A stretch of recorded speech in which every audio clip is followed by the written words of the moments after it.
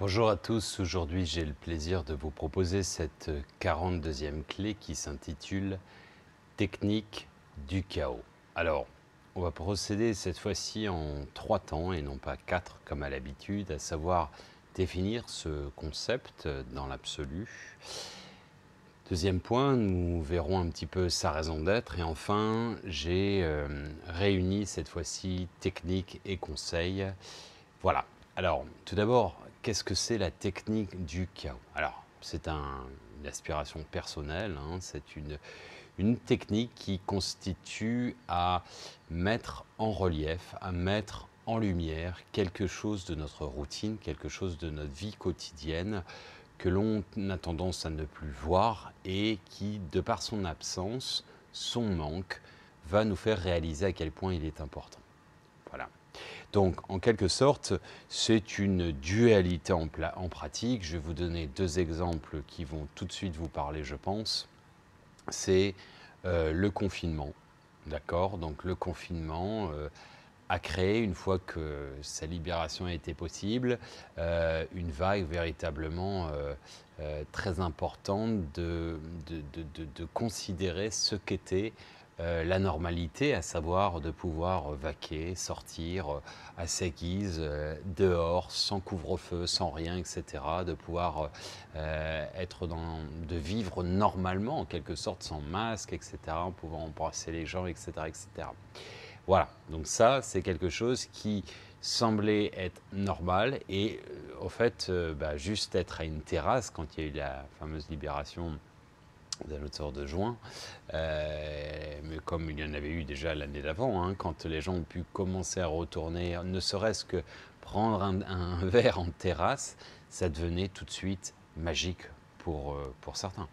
Alors, ça a été la même chose quand il y a eu la libération de la guerre, etc. etc. Deuxième exemple, ce serait euh, le fait que euh, le beau temps, enfin être heureux du beau temps. Alors je vais vous donner une petite anecdote à titre personnel. Je viens du nord de la France, d'accord? Donc vous pouvez imaginer, donc de Valenciennes, vous pouvez imaginer que toute mon enfance a été pour le moins euh, relativement grise à de nombreux égards, et notamment avec le temps. Et c'est quelque chose qui m'a traumatisé. J'ai d'ailleurs orienté ma carrière euh, sur la notion de quête du soleil, hein, non sans symbolisme, la quête du soleil, la quête de la lumière, et évidemment le fait de voyager, aller à l'encontre du monde, et c'est pour ça que j'ai choisi à la base le commerce. Voilà, puis avec des velléités aussi de faire du caritatif dans le, dans le futur. Mais bon, bref, tout ça pour dire, j'étais vraiment marqué, traumatisé par ce manque de lumière, de luminosité voilà, ça fait, ça fait partie de, de mon chemin de vie. Et du coup, en fait, euh, en l'occurrence, dès lors qu'il faisait beau, c'était extraordinaire, c'était magique, c'était ah, c'était euh, l'apothéose. Et je me souviens d'une fois, alors euh, ma belle famille, enfin du côté de, la, belle, enfin, du côté de mon beau-frère, c'est-à-dire le mari de ma, de ma sœur, euh, de Montpellier. D'accord? Donc euh, on avait coutume de faire dans, en Lorraine, là où mon père, enfin mes parents avaient une, maison, enfin c'est la maison des historiques, enfin de, famille, vu que notre famille vient de Lorraine à la base. voilà. Et en fait, on faisait souvent les Noëls là-bas, on se retrouvait là-bas avec ben, la belle famille notamment et la mère de, de mon beau-frère, en l'occurrence qui est la famille par alliance. Bref. Et euh, elle, elle est de Montpellier. Et je me souviens d'une fois, ça m'avait surpris, elle avait dit Oh, on a eu euh, trois jours d'affilée de, de, temps gris, de la grisaille et de pluie. Oh, qu'est-ce que c'est déprimant, etc. Et je me disais Mais euh, trois jours, c'est rien, quoi. enfin, et en fait, pour elle, elle, avait, elle considérait que le beau temps, c'était la normalité. Et du coup, quand il faisait pas beau, bah, ça devenait tout de suite mélodramatique. Alors que nous, c'était un peu l'inverse, c'est-à-dire que notre normalité, c'était la grisaille, et dès lors qu'il faisait beau, waouh, ça devenait extraordinaire. Voilà. Donc, ça a été assez drôle parce qu'en fait, dernièrement, enfin, je me suis surpris comme ça, c'était en octobre dernier, en me disant, euh, alors je suis conscient tous les matins quand je me lève et qu'il fait beau, euh, je suis vraiment très content. Et puis à un moment, en fait, il y a eu euh, en octobre, novembre, on a commencé à passer sur novembre sur la saison des pluies, Et là, je me suis, ça m'a fait comme ça, ça m'a fait repenser à ce truc. Oui, bah, c'est pas une normalité non plus. Même ici, euh, il y, a, des périodes où il fait pas non plus euh, super beau. Et voilà, c'est la vie, c'est comme ça. Et puis ça me met en relief. Donc voilà, euh, tout ça pour dire, en effet, s'il faisait toujours beau, bah, peut-être qu'on verrait plus de la même manière le beau temps, le, soleil, etc. etc. D'autant qu'en plus, ça c'est une question de perception parce que il y a plein de pays où ils perçoivent le soleil comme euh, une menace, ça grille, ça brûle, euh, tandis que euh, le, enfin, le, l'ombre, le, côté un ciel blanc, gris, pour eux, bah, c'est beaucoup plus romantique, etc., etc. Alors, je pense que vous aurez saisi ce quoi, enfin, de quoi il s'agit concrètement pour la technique du chaos. Quelle est sa raison d'être? Alors, bah, c'est assez simple, le champ d'application, il y en a trois. La première, c'est de mettre en relief en quelque sorte le manque, deux, de mettre en lumière notre quotidien, c'est-à-dire notre routine, et enfin, bien entendu, apprécier davantage la vie et être plus heureux au quotidien, sans nécessairement en se figurant notamment euh, ce qu'on pourrait perdre et pour éviter bah, de, de, de, de, pleurer le jour où on le perd. C'est de se dire, voilà, si je perdais ça, ah, c'est vrai que ce serait difficile. Alors, j'ai préparé une petite série à 18 euh, techniques ou conseils, on va dire. C'est plutôt euh, de l'ordre du le fait de se figurer.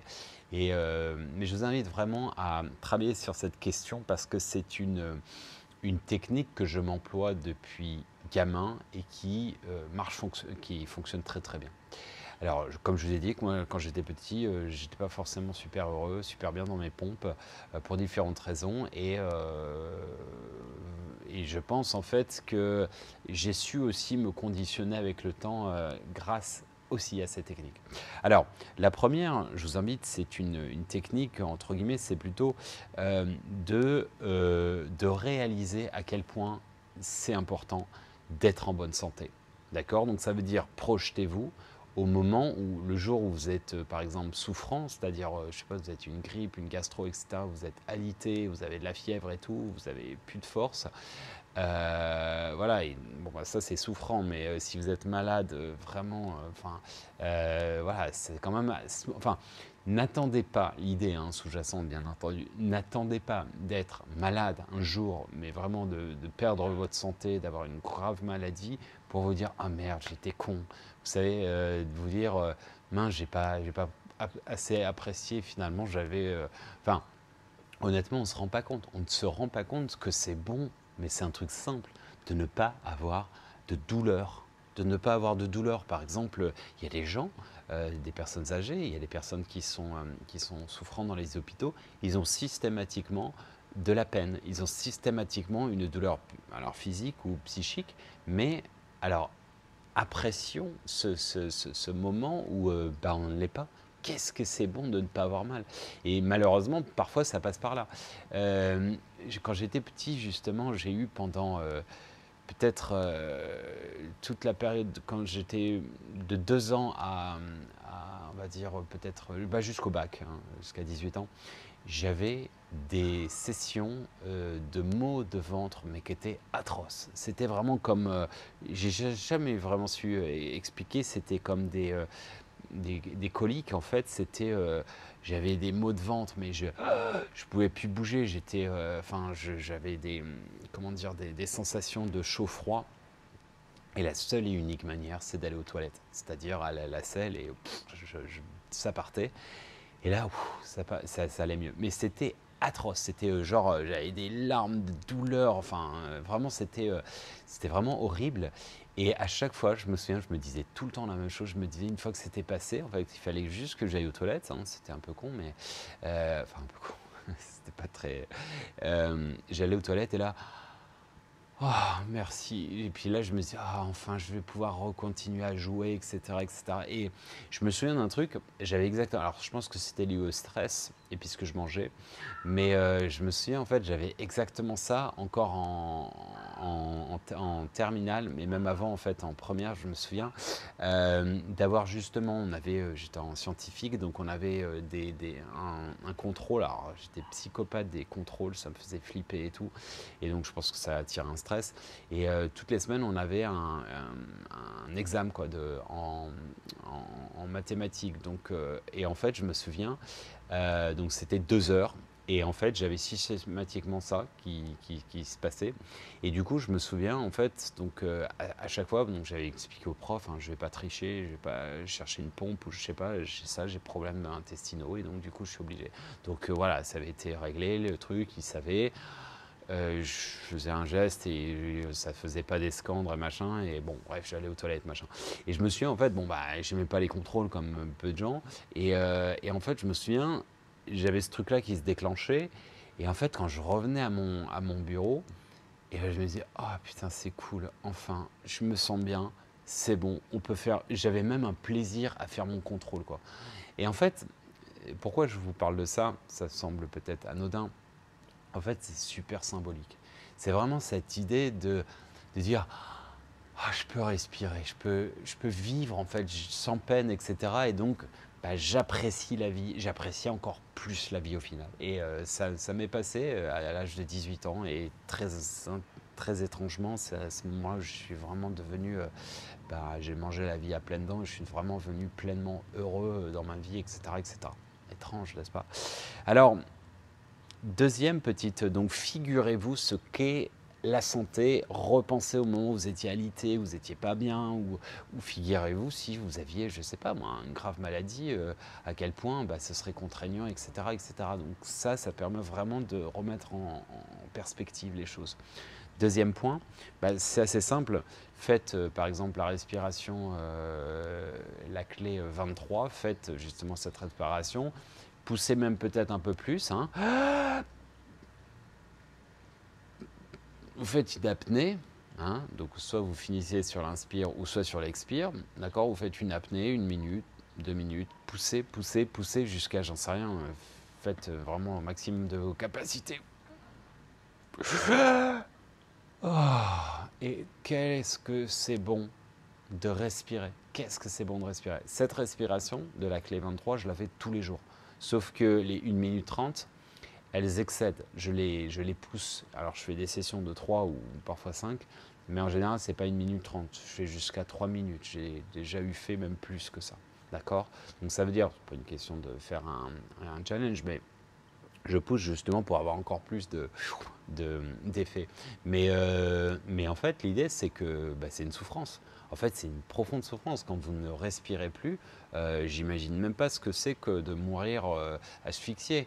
Je, me suis souvent figuré cette idée, ou euh, noyé ou autre, c'est atroce. J'ai déjà eu des cas ici, justement, quand je vais surfer et, et, me baigner, en fait, j'ai eu des cas à deux, trois reprises où je me suis dit, ça y est, c'est plié, c'est mort.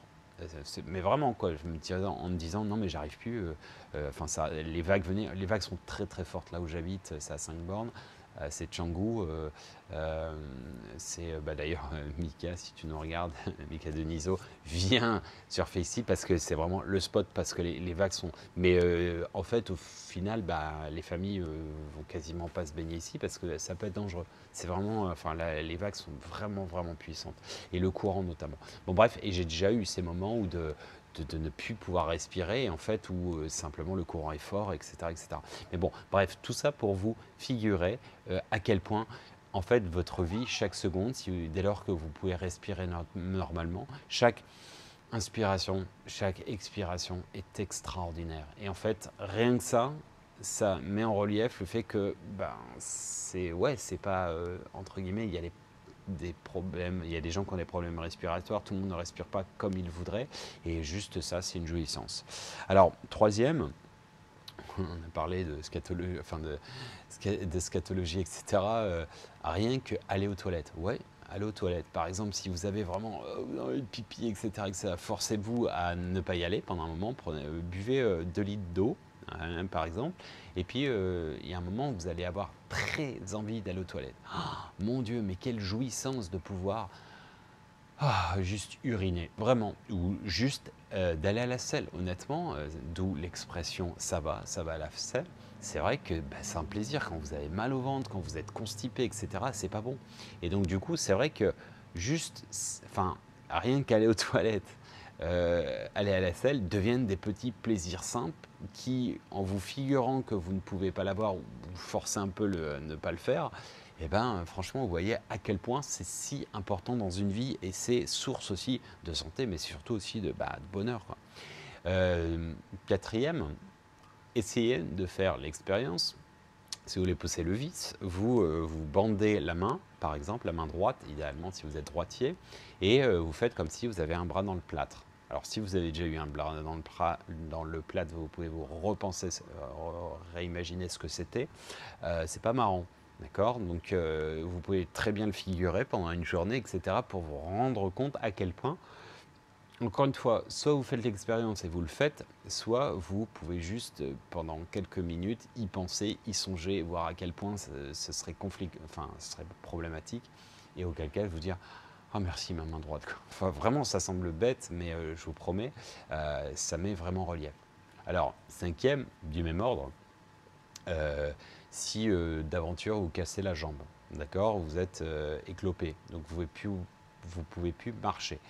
Et eh bien, toutes les fois où vous allez repenser à Ah putain, j'étais en marche, je faisais un trekking, etc., et, euh, et j'en avais ras-le-bol de marcher, etc., oh combien j'aimerais avoir cette sensation d'en avoir d'avoir trop marché. Quoi. Vous voyez, c'est toujours ce principe, vous êtes, enfin, de, mise en relief en fait.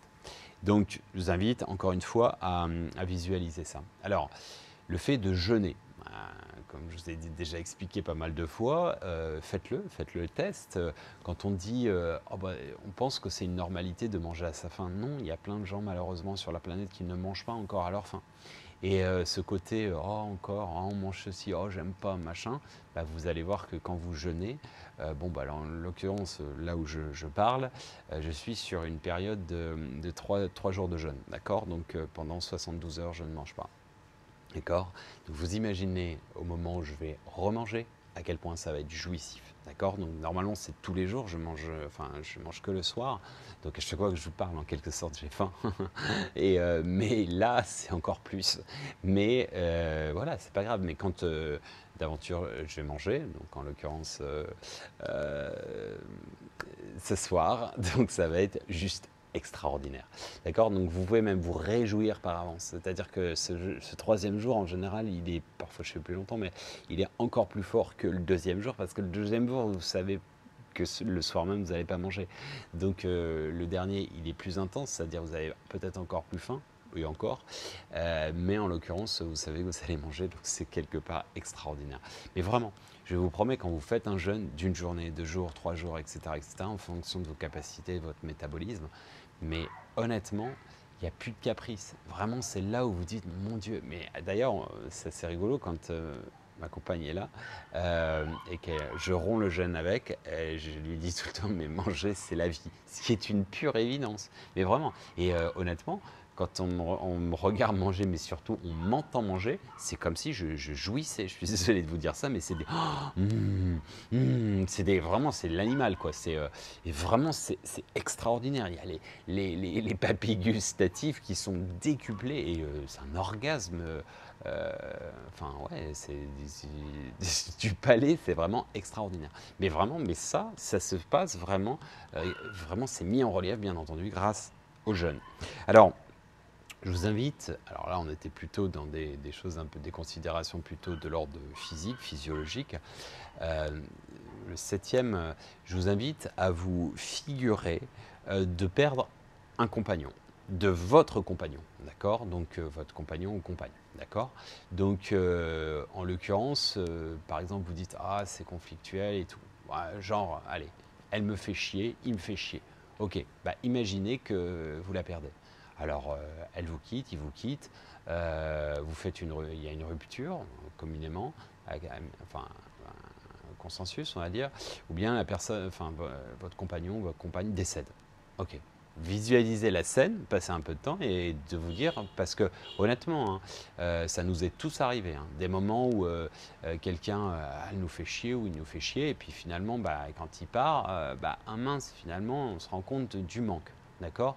Et c'est vrai pour beaucoup de choses, enfin beaucoup de choses, beaucoup de personnes. D'accord?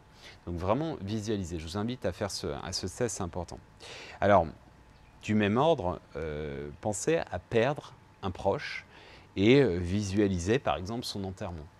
D'accord? Donc, euh, alors vous allez me dire, c'est un peu glauque. Oui, mais euh, justement, c'est dans ce sens où, où vous allez vous rendre compte, en fait.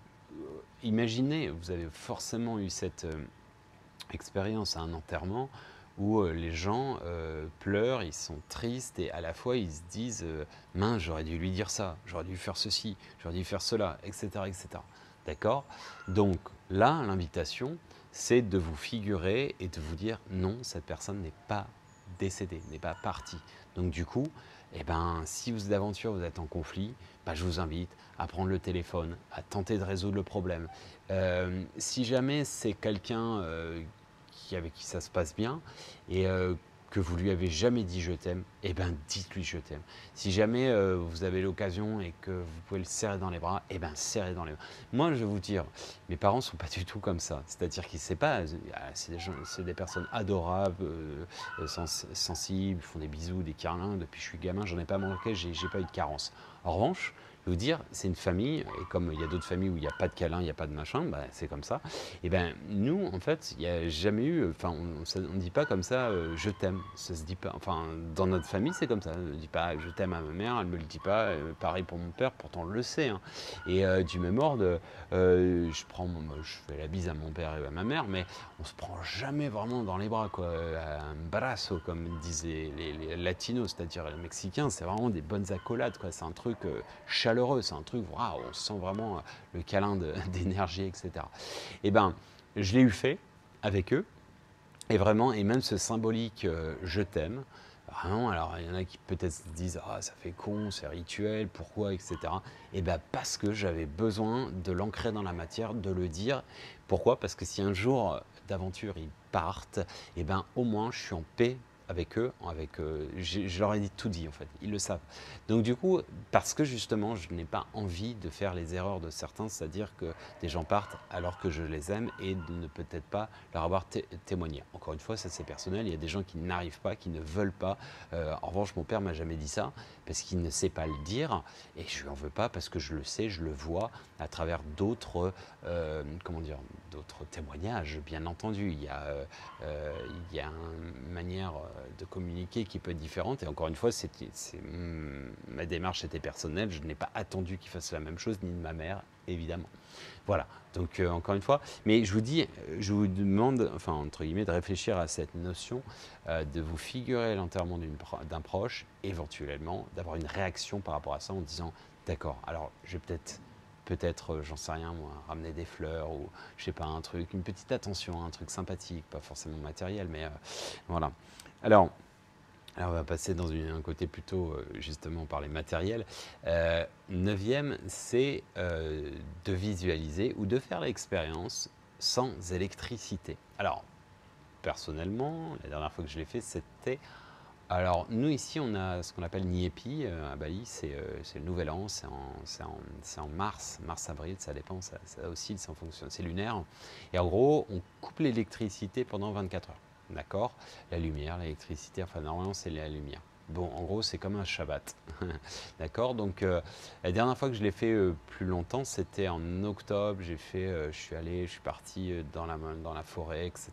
Enfin, dans les rizières, dans, et enfin, avec moi-même, personne, il ne savait pas où j'étais, etc. Et trois jours sans électricité, sans confort. En fait, j'avais une petite cabane, j'étais tranquille, quoi et euh, méditer, rien de plus, etc. J'avais pas de civilisation, quoi. J'avais pas d'électricité, rien du tout.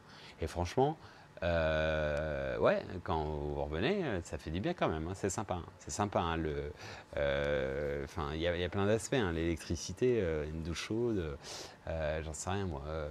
Bah, que la clim, le petit fait chaud, le chauffage, etc. Enfin, la lumière, je veux dire, le soir, sinon vous êtes couché à l'heure des poules, hein, c'est comme ça.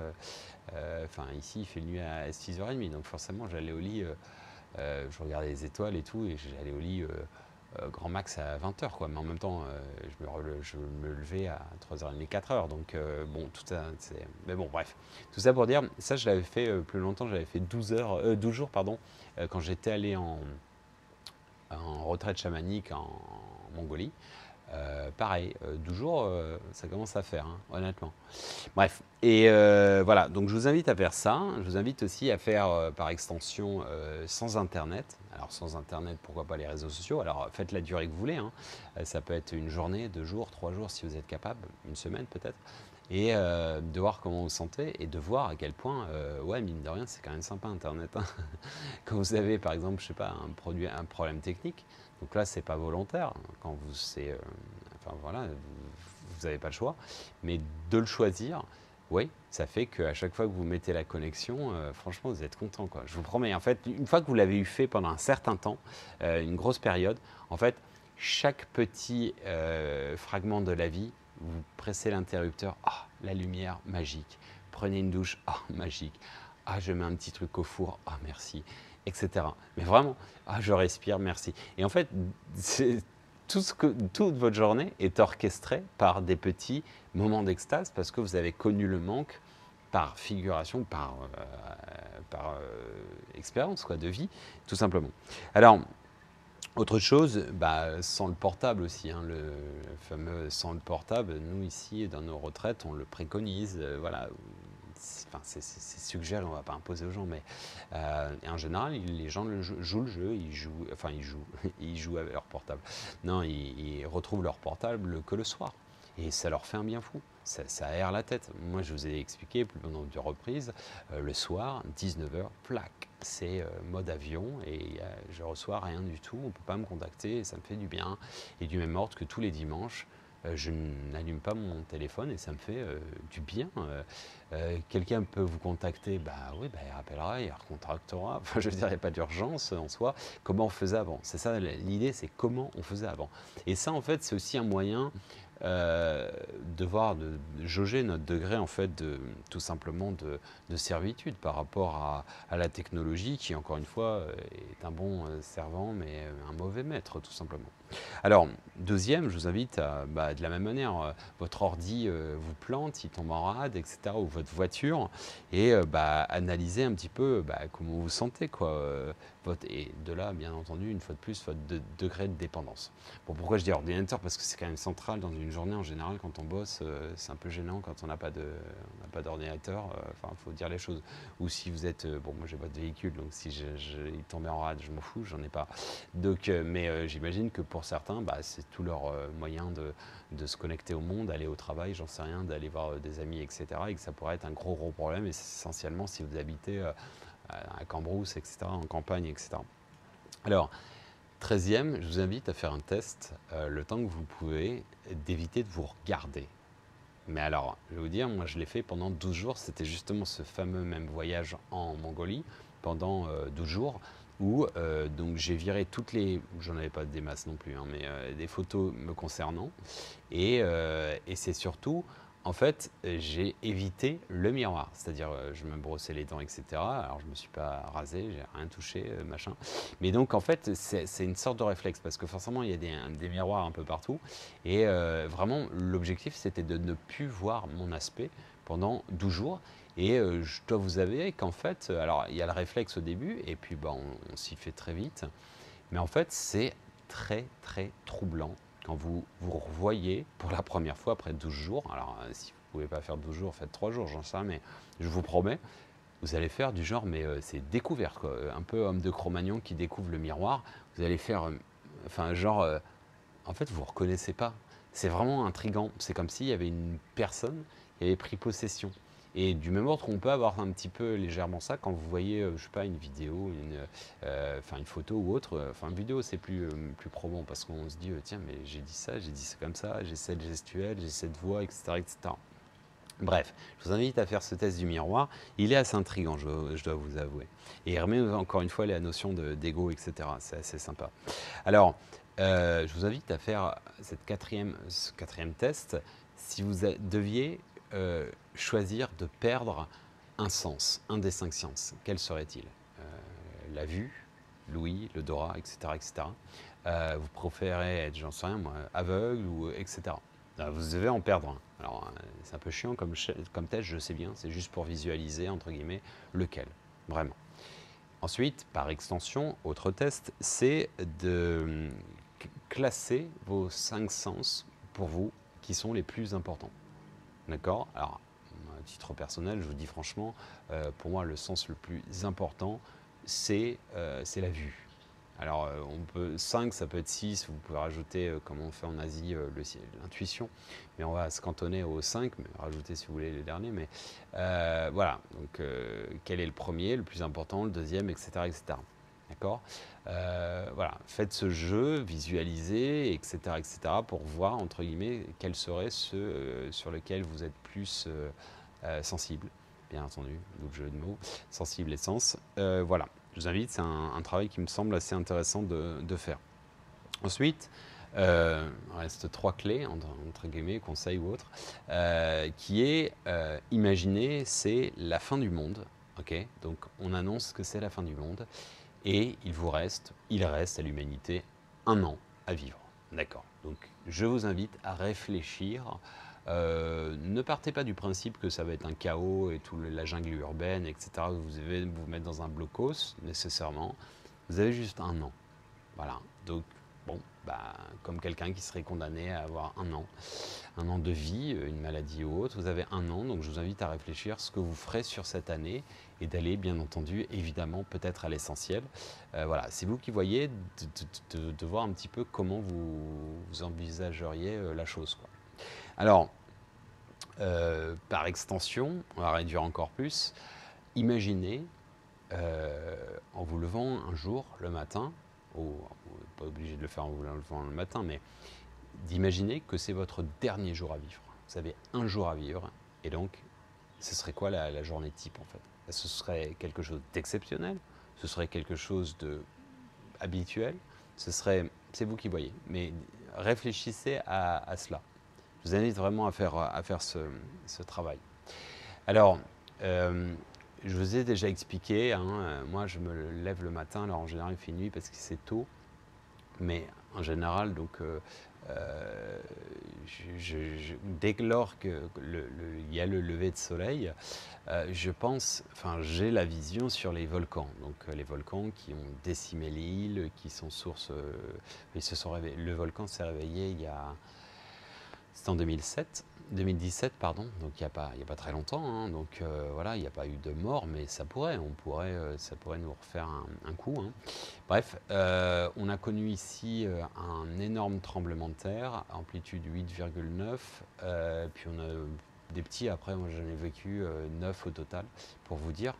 ouais, ça remet les choses en place, en perspective. Vous dites que ça peut arriver comme ça du jour au lendemain. Là, à l'instant, ça pourrait arriver. Hein. Euh, et euh, surtout, bah, en fait, il n'y a pas de stabilité dans ce monde. C'est-à-dire qu'en fait, euh, ça veut dire que c'est sous des, nappes phréatiques, etc. Donc ça vous remet dans une considération à la fois terre à terre, mais même le terre à terre, il n'est pas tangible. donc, donc est-ce que je stresse au quotidien? Là, par exemple, où je me dis, bon, ben non, c'est comme ça. Euh, j'habite à 5 km de la plage. Euh, les tsunamis, ici, il a tout ravagé. Hein. donc, euh, si d'aventure il y en avait un autre, bon, et il y en aura probablement d'autres dans le futur, hein, c'est fort probable, bon, bah, ce serait une nouvelle Atlantide. D'accord Bon, vous pensez, quand je vois ça le matin, j'y pense systématiquement. Vraiment, il n'y a pas une journée où j'y pense pas. Et en fait, je ne fais pas du tout d'angoisse. Je suis au contraire dans cette notion de gratitude. Merci la vie et on va jouer à la vie, on va bouffer la vie à pleines dents. Véritablement, c'est comme si, de la technique du chaos, hein, je m'injectais un peu de venin, un peu de, la maladie pour m'immuniser et de facto, je vis encore plus intensément, je pense, le moment présent, la vie je l'honore tel que je peux et tel que voilà mes aspirations. Mais euh, vraiment, je vous invite pas nécessairement à faire ça ou d'habiter dans un endroit qui est. Mais euh, je pense que c'est important d'être conscient à quel point, oui, on pourrait euh, bah, réaliser que, enfin, fait, fait ce, jour entre guillemets le, le, dernier jour du reste de ta vie, etc. Oui, c'est un peu cette idée de te dire voilà, magnifie-la parce que tu sais jamais ce qui peut arriver, tout simplement. Tu peux et ce serait tellement dommage mais au contraire, c'est pas un truc, euh, j'ai peur donc je fais pas de projet dans le futur et tout. Non. Euh, mais j'honore ce moment présent et je ne. En fait, pourquoi je vous conseille ça C'est qu'en fait, il y a plein de moments, euh, vous savez, quand vous êtes touché par une maladie, quand vous avez des trucs extrêmes, vous dites Putain, j'étais bien con, on me prend la tête avec des bêtises, des petits tracas de la vie. Au final, c'est peanuts, c'est rien, c'est que dalle. Qu'est-ce qu'on se prenait la tête? On se bouffait la gueule, on s'inventait des histoires, on s'inventait des vies, etc. Voilà. Mais vraiment, c'est ce qui peut arriver en fait dans, le cas extrême. Alors, plutôt que de se dire ça quand c'est trop tard, eh bien, à mon sens, dites-vous aujourd'hui, bah ouais, peut-être on va essayer un maximum de pousser le truc en se disant, allez, ouais, je jouis de la vie au quotidien, j'ai pas besoin d'avoir euh, d'avoir 90 euh, ans et puis d'être dans, j'en sais rien, moi, dans une, maison de retraite ou d'être impotent, etc., etc., pour me dire, ah, finalement, euh, la vie était belle, etc., etc., hein, ou euh, d'attendre qu'il y ait une guerre ou d'attendre qu'il y ait un, drame, etc., etc. Moi, je vous ai dit, tous les jours, je vais, je vais, je vais marcher ou courir et je me pose à un moment, de l'endroit que vous avez vu, enfin, dans, la, dans, dans, le, dans, le, volet de la nature, et je me dis, il est possible qu'un jour, euh, ouais, il y a des grands cataclysmes et euh, qu'on perde tout, toute la civilisation, etc. On revienne à l'époque des, cabanes, etc., etc. et on, de, de, mode survie, euh, survie, quoi. Et je me dis en fait, il faudrait trouver un côté ludique là-dedans en disant ah chouette, on fait Indiana Jones, etc. Et sinon on ne survivrait pas. Et je suis persuadé, je vous dis hein, franchement à titre, si jamais c'est un cataclysme terrestre, c'est évidemment pas ce que je souhaite bien entendu, mais je suis persuadé que il y aurait euh, peut-être plus de la moitié qui se suiciderait. Parce que les gens ne seraient pas capables de revenir à un état euh, complètement naturel, etc. Il y aurait plein de gens qui pèteraient un câble euh, parce qu'ils n'ont plus leur technologie, parce que... Parce que et en fait, si vous voulez, ça c'est une invitation, non pas à se préparer à ce que ça arrive, c'est juste, est-ce que quand vous achetez une voiture et que vous avez un airbag dedans, vous avez envie de l'utiliser Si à la fin, la voiture, vous la revendez après 10 ans et vous dites Ah bah merde, j'ai pas utilisé l'airbag quoi. Euh, mon assurance me coûte relativement cher. Hein. Ça fait 11 euh, ans que je l'ai. Je ne l'ai jamais utilisé. Bon, est-ce que je dis Oh merde, putain, euh, je vais peut-être faire une petite opération de ci, de là, etc. parce que je ne l'ai pas optimisé? Non, je suis content de ne pas l'utiliser. Vous voyez, c'est le même principe. Mais en l'occurrence, je pense que c'est bien d'être conscient. Il y a vraiment, je vous invite à réfléchir sur ce truc.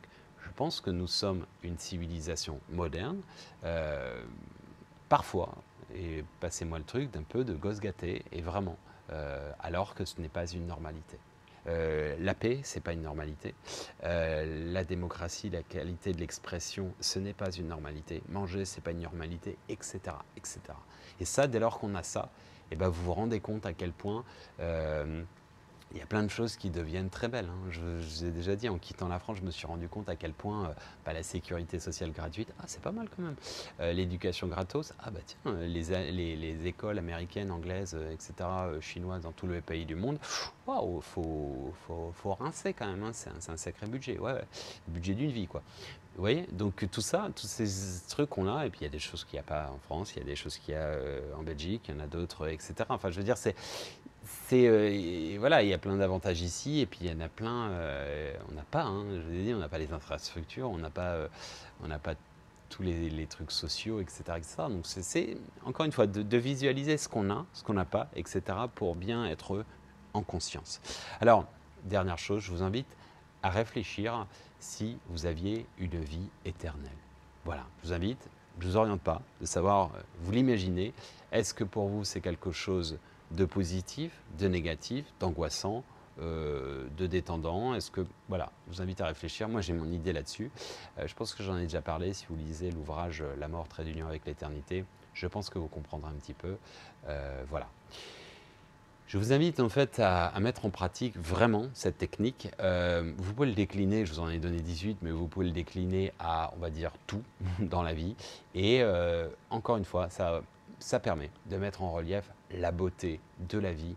Et euh, c'est la mise en lumière, évidemment, de ce qu'on a au quotidien. Et parfois, on n'est peut-être pas autant au besoin de le perdre pour réaliser à quel point c'est important. Voilà, je vous invite à méditer dessus.